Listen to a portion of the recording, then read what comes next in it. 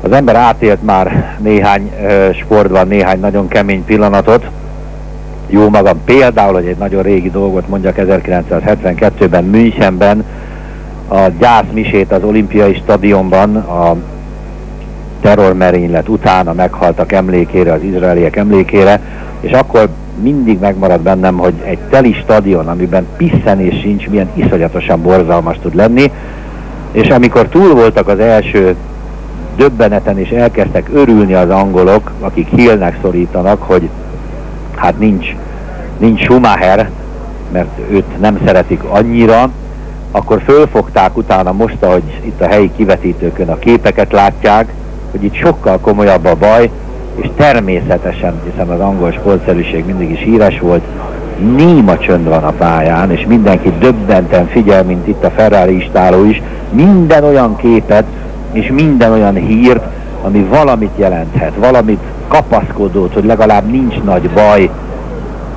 hogy, hogy ha még a mai versenyen nem is tud indulni, és a valamilyen eltörött Schumachernek, de nem olyan a baj, ami a versenyzői pályafutását befolyásolná, vagy az évben talán a hátralévő versenyeket.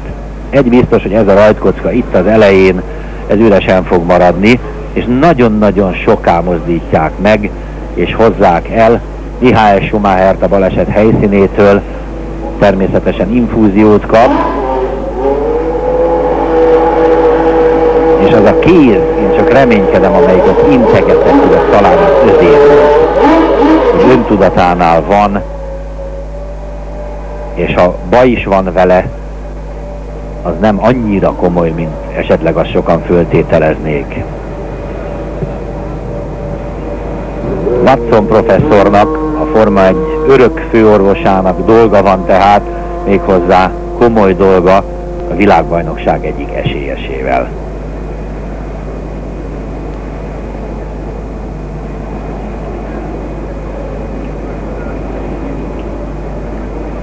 Watkins, lehet, hogy rosszul mondtam a nevet, köszönöm.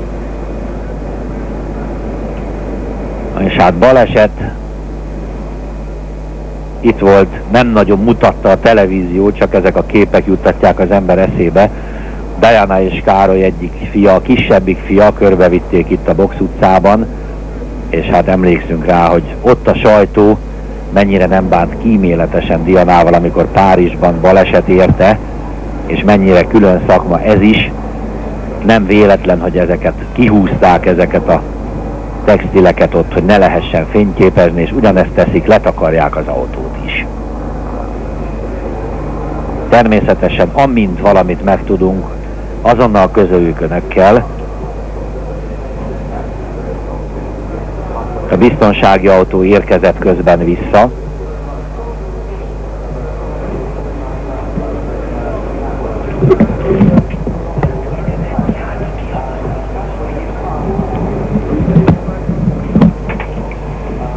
borzasztóan összetört az autó. Most már érkezik a mentés, itt a biztonsági autó is.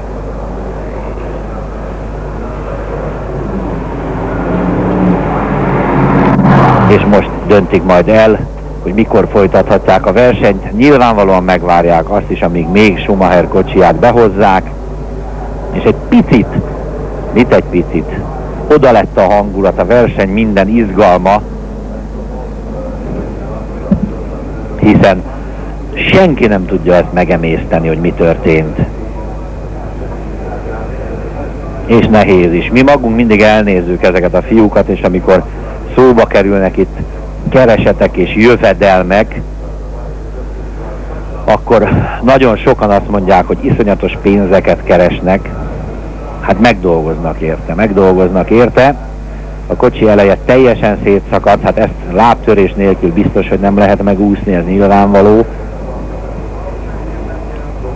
És mindig az az ember gondolata, hogy kijönnek ide pénteken az első szabad edzése, és gyakorlatilag napközben folyadékon élnek, tehát nem nagyon esznek. Nem csak azért, mert nem éhesek, hanem én úgy gondolom, hogy benne van az is, hogy bármikor történhet velük valami, soha nem lehet tudni, hogy mikor következik be egy baleset,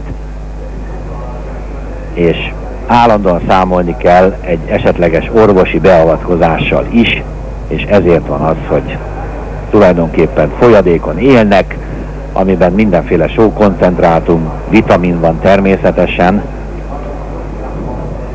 és ugye, ha ezeket a képeket nézzük, akkor teljesen jogos a dolog, hogy tulajdonképpen ez az, amit itt láttunk, ez a borzalom, amiért Hill is be akarja fejezni a versenyt, hiszen, és a versenyzést, hiszen négy gyereke van, mondta, hogy szeretne a családjának élni, a gyerekekkel foglalkozni, és talán Irvine volt az, aki meg is jegyezte elég cinikusan, hogy ha abba akarja hagyni, most Ecclestonon kívül, aki azt mondta, hogy ha abba akarja hagyni, akkor hagyja abba, de azt mondta, hogy ez olyan, mint a túlságosan sokszor kopogtatnak, és egyszer csak valaki benyit.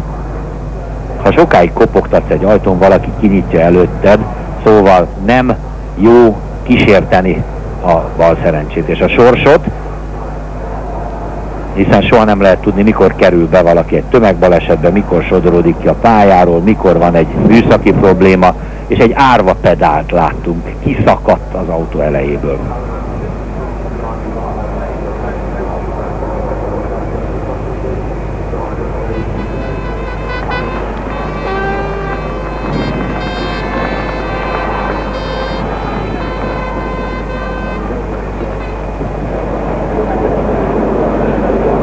Tudom, önök hogy vannak vele, amikor ezt a képet nézik, az ember hátán futkos a hideg, és nem hiszem, hogy még a Hekinek megkönnyebbült volna, hogy egy nagy vetétársal kevesebb.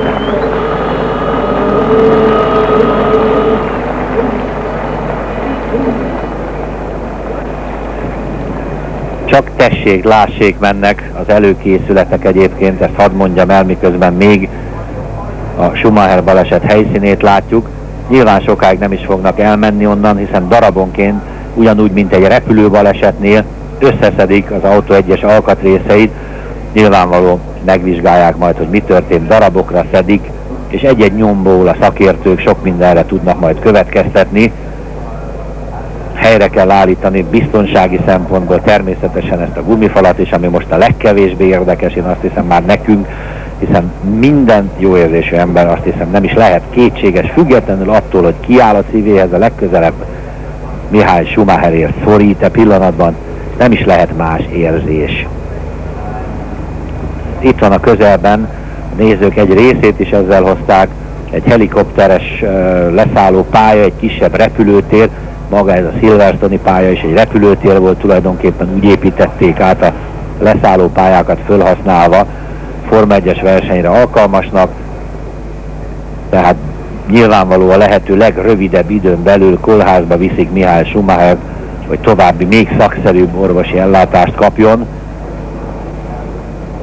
Itt a féknyom, ahogy elindul keresztbe, és aztán itt van ez a bizonyos kavics ágy, amin már átpattogott ezt az őrületes sebességet, azt sem tudta megfogni és ott már irányíthatatlan az autó, természetesen ezen a részen, ha már tudta és látta is a bajt Schumacher, már változtatni nem tudott rajta. Hihetetlen képsor, egy klasszis versenyző, egy többszörös világbajnok, egy irányíthatatlan autóban teljes sebességgel, vagy majdnem teljes sebességgel neki csapódik a falnak.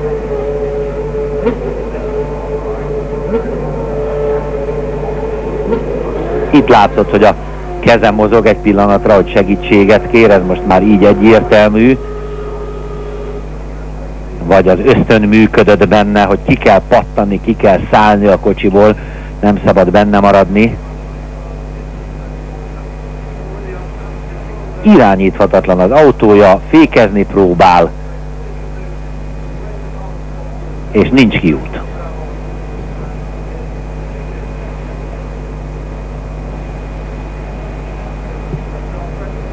Mindenki áll, még egyszer csak ezt tudom mondani, foglalkoznak, bíbelőznek az autókkal, de inkább csak azért, hogy a gondolatokat el ott próbál kiszállni Schumacher. Ez volt az a pillanat, aztán levették róla a sisakot is, vagy ő maga vette még le, amikor abban reménykedtem egy picit, hogy hát, ha talán, talán nem annyira súlyos a dolog, hiszen ott mutatja, hogy segítség, jöjjenek, mozog, megpróbál kiszállni, az életösztön hihetetlen erősen működik benne.